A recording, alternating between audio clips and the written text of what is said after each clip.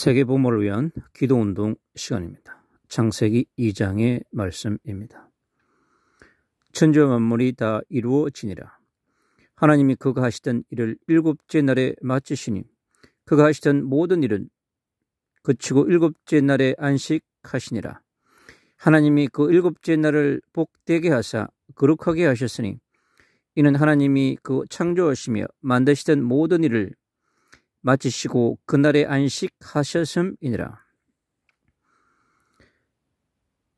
이것이 천지가 창조될 때 하늘과 땅에 내리기니 여호와 하나님이 땅과 하늘을 만드시던 날에 여호와 하나님이 땅에 비를 내리지 아니하셨고 땅을 갈 사람도 없었으므로 들에는 초목이 아직 없었고 밭에는 채소가 나지 아니하였으며 안개만 땅에서 올라와 온 지면을 적셨더라.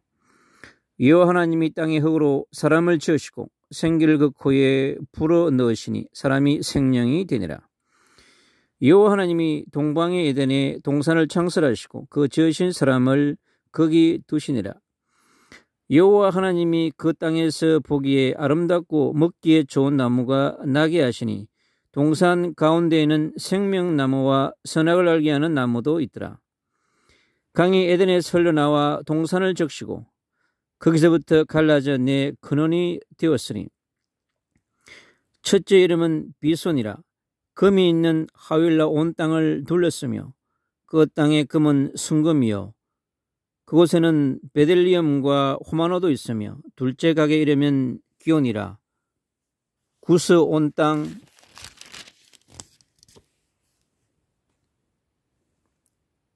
을 둘렀고 셋째 강의 이름은 히떼겔이라 아수로 동쪽으로 흘렀으며 넷째 강은 유브라데더라 요 하나님이 그 사람을 이끌어 에덴 동산에 두어 그것을 경작하며 지키게 하시고 여호 하나님이 그 사람에게 명하여 이르시되 동산 각종 나무의 열매는 내가 임의로 먹되 선악을 알게 하는 나무의 열매는 먹지 말라 내가 먹는 날에는 반드시 죽으리라 하시니라 여호와 하나님이 이르시되 사람이 혼자 사는 것이 좋지 아니하니 내가 그를 위하여 돕는 배필을 지으리라 하시니라. 여호와 하나님이 흙으로 각종 들짐승과 공중의 각종 새를 지으시고 아담이 무엇이라고 부르나 보시려고 그것들을 그에게로 이끌어 가시니 아담이 각 생물을 부르는 것이 곧 그 이름이 되었더라. 아담이 모든 가축과 공중의 새와 들의 모든 짐승에게 이름을 주니라. 아담이 돕는 배필이 없으므로 여호와 하나님이 아담을 깊이 잠들게 하시니 잠들매 그가 그 갈빗대 하나를 취하고 살로 대신 채우시고 여호와 하나님이 아담에게서 취하신 그 갈빗대로 여자를 만드시고 그를 아담에게로 이끌어 오시니 아담이 이르시되 이는 내 뼈중의 뼈요 살중의 살이라 이것을 남자에게서 자여선적 여자라 부리라 하니니 이러므로 남자가 부모를 떠나 그의 아내와 아파여 둘이 한 몸을 이룰지로다. 아담과 그의 아내 두 사람이 벌거벗었으므로 부끄러워하지 아니하니라. 이 시간 세계복음 현장을 위해서 기도합니다. 이 시간 인도의 땅을 위해 서 하나님 기도합니다. 인도의 땅을 통치하여 주시옵소서. 인도 땅에 흐르고 있는 흑암과 공허와 혼돈의 어둠의 근세가 무력화되게 하여 주옵소서. 인도의 14기 넘는 이 영혼들을 잡고 있는 불신앙과 죄와 흑암의 근세가 무너지는 시간 되게 하시며 지옥의 배경이 무력화되는 시간이 되게 하여 주옵소서. 14기 넘는 이 영혼들을 잡고 있는 눈에 보이지 않는 강력한 우상과 종교와 영적인 종교의 바벨탑과 어둠의 바벨탑들이 가득한 이 인도 땅에 2400 소수민족으로 가득한 이 거대한 대륙 인도 땅에 하나님 그 도시마다 마을마다 지역마다 가정마다 흐르고 있는 이 공허와 흑감과 혼돈을 가져온 어둠의 근세가 이 시간 무너지는 시간 되게 하여 주옵소서. 끝없는 종교의 분쟁과 무슬림과의 전쟁과 부족 간의 전쟁과 가난과 어려움에 빠져있는 이 민족을 기억하여 주시고 이 땅에 특별히 인도 땅에 흐르고 있는 하나님 우상과 종교의 영들이 길박되게 하여 주옵소서. 힌두교의 종교의 영이 길박되게 하시옵소서. 하나님 성령으로 역사여 주옵소서. 하나님 우상과 종교 하나님을 대체하고 예수 그리스도의 복음을 대체한 하나님의 형상을 잃어버린 이 영혼들 속에 하나님의 형상을 회복할 수 있는 운동이 일어날 수 있도록 그 땅에 오직 그리스도가 증거되도록 주님 역사여 주옵소서. 그 땅에 개인과 가정과 말과 도시마다 하나님 예수 그리스도의 복음만 증거되게 하여 주옵소서. 하나님 예수 그리스도를 통하여 하나님의 나라 운동이 인도의 개인과 가정과 도시마다 마을마다 지역마다 일어나도록 하나님 성령으로 역사하여 주옵소서. 2400만 2400에 가까운 하나님 이 소수민족들 속에 수많은 하나님의 이 분리된 언어로 하나님 민족 간 갈등 속에 종족 간 갈등 속에 빠져 있는 이 땅을 통치하여 주옵소서. 하나님 예수 그리스도를 통하여 하나님 여자 요선 메시아를 통하여 그 땅에 성령으로 역사하여 주기를 소원합니다. 하나님 영원한 많은 영혼들이 하나님 죽어갑니다. 인도 땅의 이 백성들 기억하시옵소서. 전쟁으로 수많은 영혼이 죽고 고통한 그 나라가 되어버린 하는 이 인도 땅에 하나님의 나라가 임하게 하여 주기를 원합니다.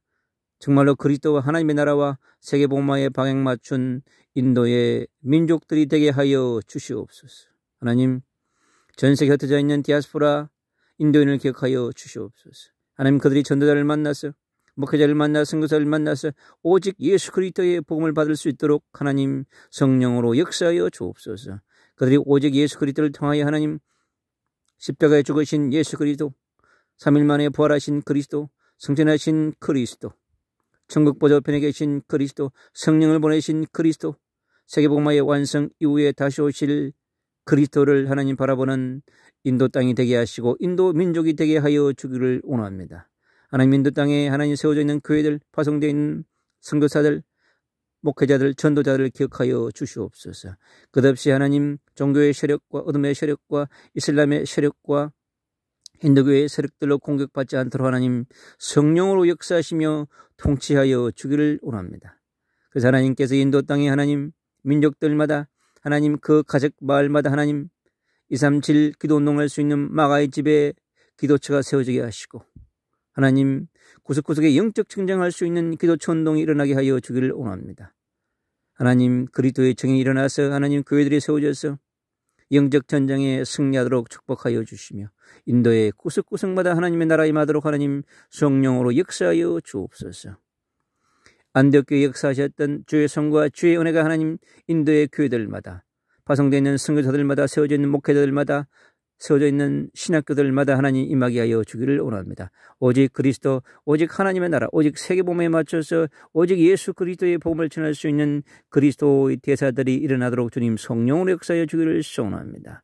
주님 강력하게 역사하여 주시옵소서.